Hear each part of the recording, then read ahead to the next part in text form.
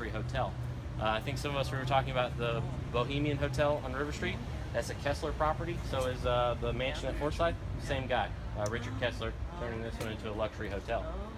Was that the bulldog in the movie when they're walking Yep. bulldog? And he's also in Midnight Garden Good and Evil. Yeah. Uh, Number dog.